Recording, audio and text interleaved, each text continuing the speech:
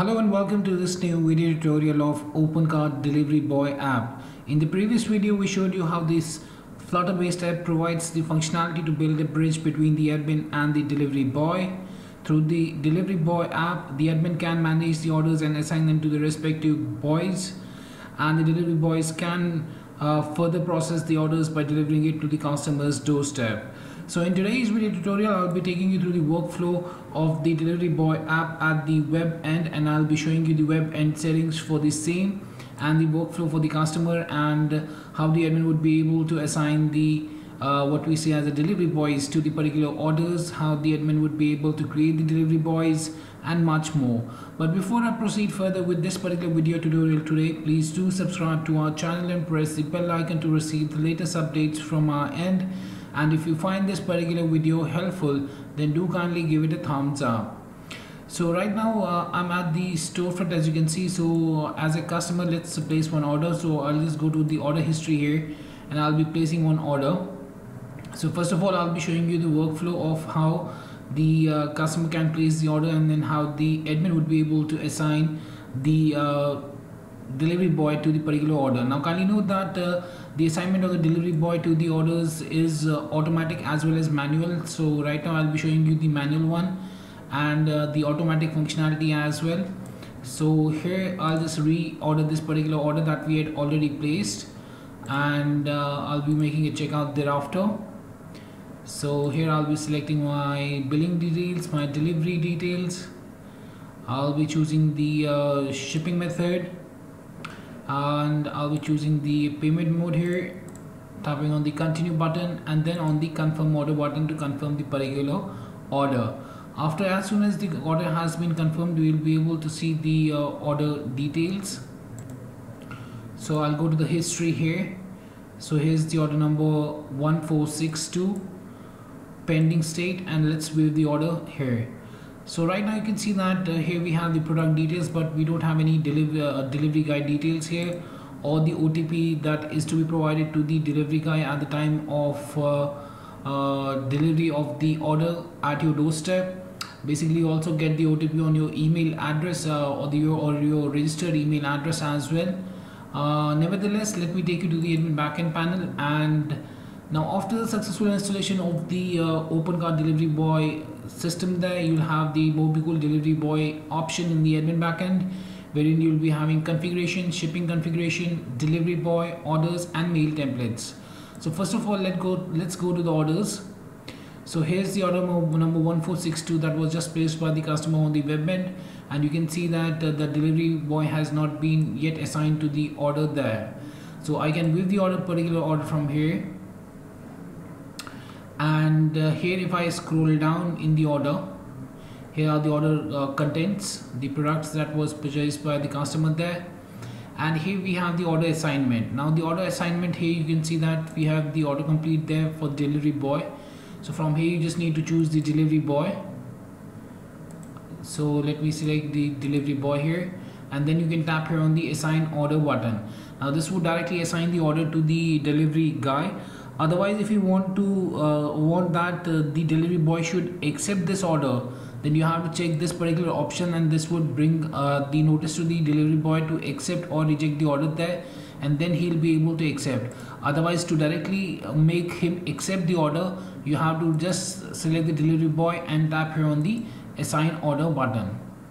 So let me assign this up to the uh, delivery boy that's the John Doe. So you can see that the order has been assigned to the delivery boy. Now in the case if I have checked this option then let me show you what the status uh, would be displayed under the orders. So this one is being directly assigned to the delivery boy. But for this we have selected that option that uh, the delivery guy should accept the order. So that's why it's showing waiting for order accept. Uh, and uh, other statuses can also be seen here like not assigned to the delivery boy. So because this order has not yet been assigned to any delivery guy there. So this is how the admin would be able to assign uh, the delivery guys uh, manually. And now let me show you the automatic thing. For that you have to go to the configuration settings here under the Mobikul configuration. And under the general tab here you have to scroll down to the order assignment type so here you can select the assignment tab uh, type as automatic or manual. If it has been set as manual then you have to manually assign the delivery boy to the particular orders. Otherwise you can choose it as automatic. So if you have selected automatic and the order is placed by the customer then the delivery boy would be assigned automatically as per the default address and the delivery boy location there. So here you have to if you have chosen the order assignment type as automatic then you have to set the default address as well. So here you have to enter your store location which will be used to assign nearest delivery boy automatic by calculating the distance between this address and all active delivery boys there. Alright so after selecting this as automatic if I save this up and I try and re-order uh, this order let's reorder this uh, another order here and I'll select these uh, options here. And uh, I'll be selecting my payment method. I'll tap continue. I'll tap confirm order button. Now the order has been placed. Let's check the history. So the order number is 1463 and in the previous order that we had placed 1462 if I check now because the delivery guy has been assigned so here you'll find the delivery boy details and the OTP code for the same uh, that needs to be provided to the delivery guy at the time of order delivery there. So let's go back and let's go to the latest order here. And let's view the order. Now let's go back and let's uh, go to the order section so here you can see that for the order number 1463 it has been auto assigned uh, to delivery boy here to Smith Doe. And the order total is this and the details are here. Uh, so that's how the auto assignment works. The uh, particular delivery guy is automatically assigned to the respective order as per the requirements there.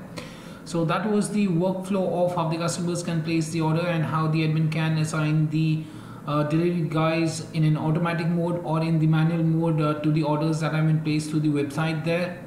Now let me take you to the other options here that we have then let's go to the delivery boy option. So here the admin will find the complete list of delivery boys that have uh, registered themselves and from here if the approval has been set as automatic uh, then the delivery boys would be automatically approved because the delivery boys can register themselves through the application itself.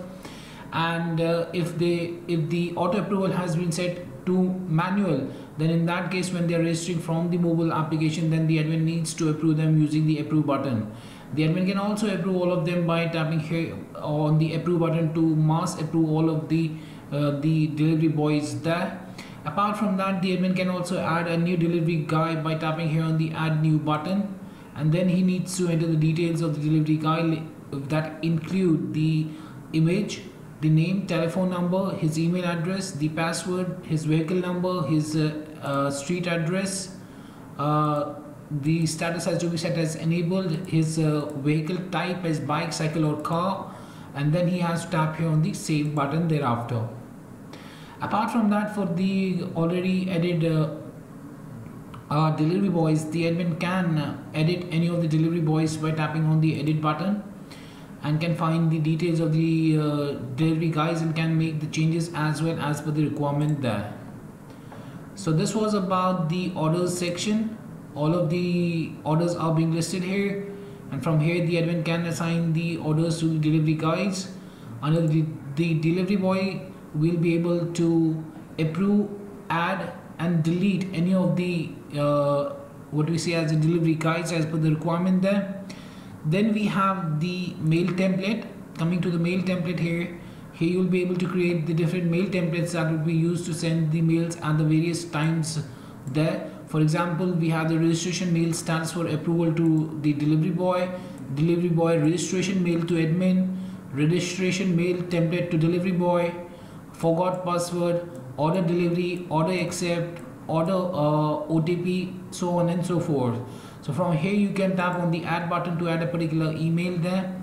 Send the name subject and from the template here we have provided uh, some keywords for the dynamic values there.